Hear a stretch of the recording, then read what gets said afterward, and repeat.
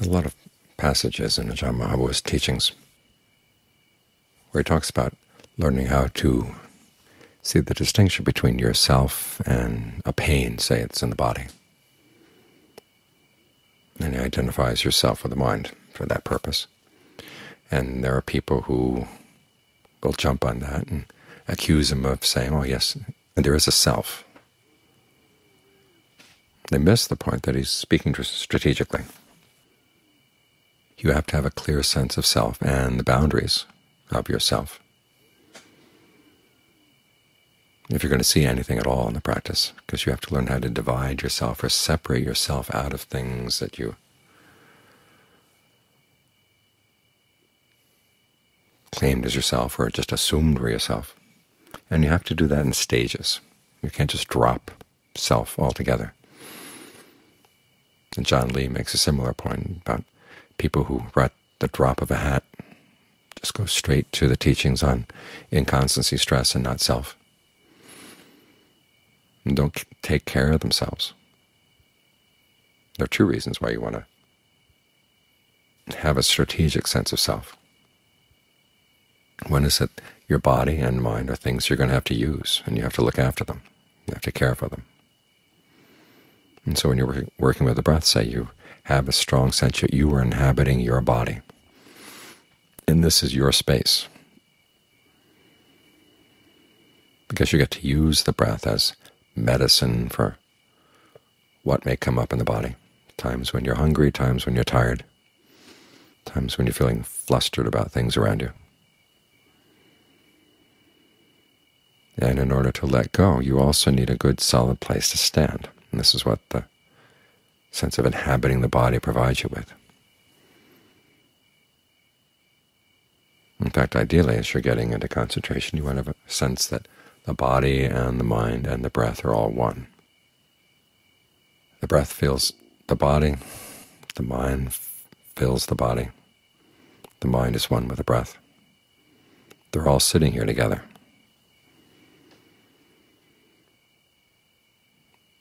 And then you can use this sense of you inhabiting your space when you're dealing with other people. It helps you see when your mind goes out to catch their words or to allow their words to come in.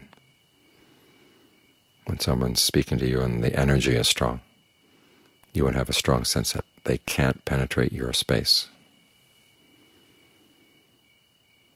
The words can go around. You know what they're saying. You can, in fact, when you're not so concerned with your reaction to what they're saying, you can hear more clearly what's behind the words and deal with the situation a lot more effectively. But to do that, you have to have a strong sense that you are here in your space, filling your space with good energy. So you're both strengthening your, your tools, the things you're going to use for the practice, and providing yourself with a good, strong place to stay, to take your stance. And you're, you've got a clear dividing line any thoughts that go out to pick up what that person is saying, or to take it into you, your inside space. You see that they're violating that line. So you want to keep that line clear.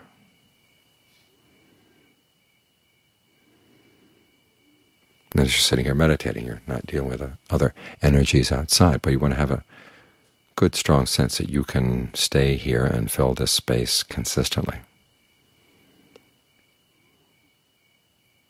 It's such a strange quality of this kind of concentration that as you get everything together here like this, then when the time comes for them to divide out into separate things, they divide along their natural fault lines.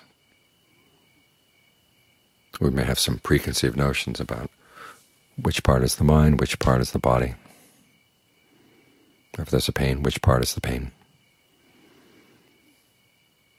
But all too often we cut things across the wrong lines. It's only when they're allowed to stay together like this that then with the effort of the practice of continual alertness and your ardency, they begin to separate out on their own. This is when you start using Ajahn Maha Boowa's approach of thinking of your mind as you, the body is something else, the pain is something else. Here they are, they're all sitting together in the same space, but how are they different? They're different in quality. It's like radio waves in the air. There are the stations from Tijuana, stations from San Diego, stations from Los Angeles, all going through the air, all going through your body right now on different frequencies. And if you had a radio here, all you do is turn the dial a little bit, and you can pick up the different stations and separate them out from the others so you can hear each one clearly. Well, it's the same with the pain, same with the body, same with the mind. They're here in the same space, but they're different qualities. The mind is the knowing quality. The body doesn't know anything. It's just earth, water, wind, fire. The pain is something else. It's not earth, it's not water, it's not wind, it's not fire. It's a feeling tone. And when you don't glom it together with the body, you begin to see that feeling tone moves around a lot. In particular, it moves around in connection with your perception, the labels you're putting on things. The label that says pain, the label that says the pain is here. And you begin to realize there's certain acts of the mind that bridge that gap between your knowing element and the physical element. The act that says the pain is right there, your awareness is centered right here. You might ask yourself, is your awareness above the pain or is it below the pain?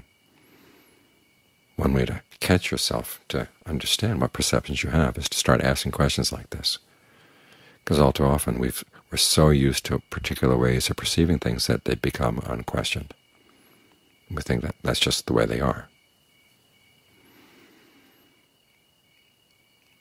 But if you ask a few off-the-wall questions, you begin to realize that you have a certain number of assumptions, which is another way that the Ajahns translate sanya, or perception. There's a samkan, which is an assumption.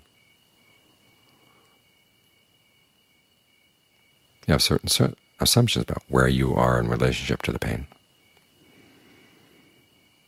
or how solid the pain is, or where the pain is. If you can catch those assumptions, those perceptions in the act, you see that they are actions and you can drop them.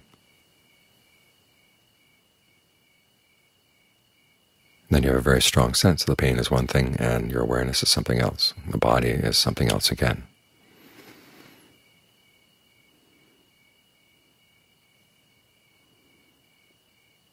And then on a deeper stage, you start applying the same thing to other mental acts, the mental acts that identify what this mind is. So when you can separate those out, that's when really interesting thing interesting things happen inside the mind. So your sense of self gets shrunken in, shrunken in. You divide the line between self and not self in different places until you've got it cornered.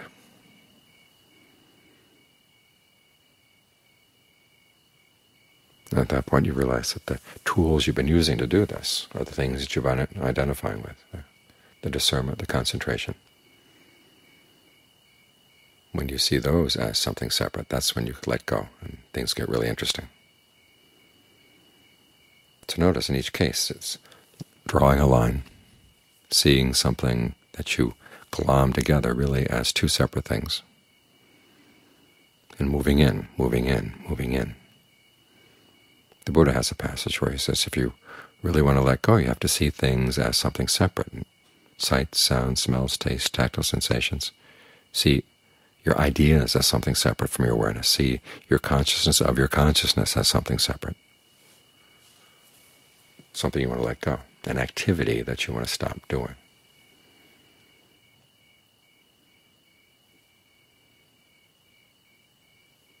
And so when you're working on the perceptions of inconstancy, stress, not self. You learn how to apply them strategically.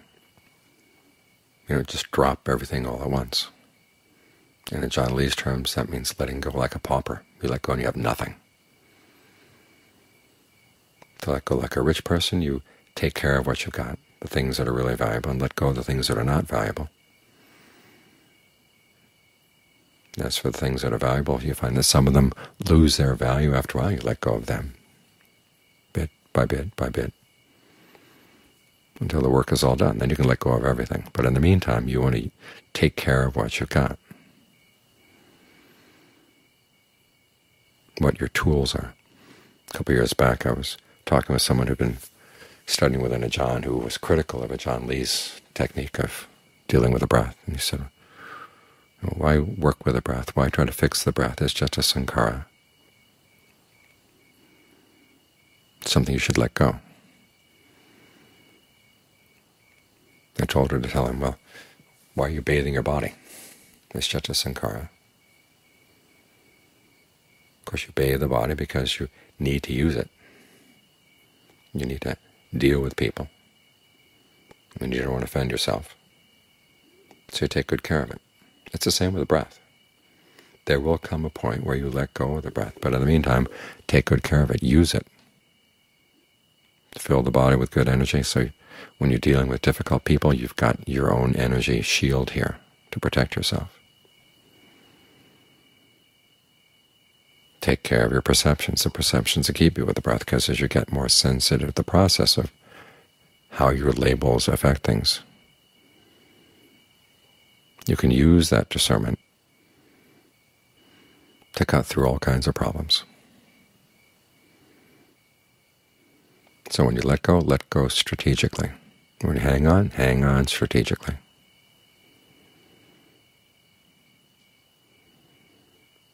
You know Ajaan Chah's image. You've bought a banana, you're taking it back from the market. And someone asks you, what are you going to do with the banana? You say, I'm going to eat it.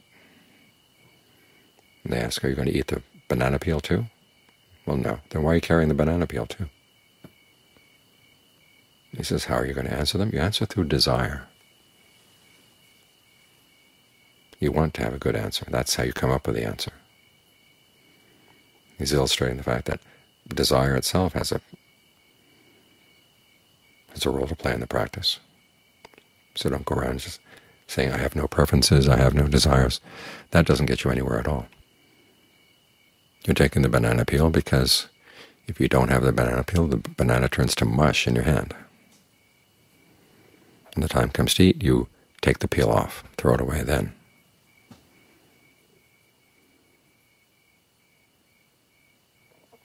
Hang on to things you need to hang on to. Take good care of them.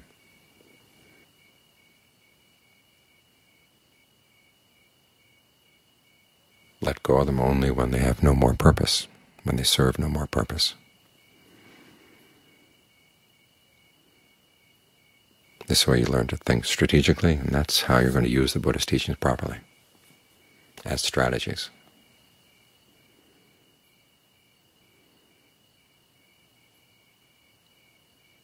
And then when they've done their work, you can let everything go.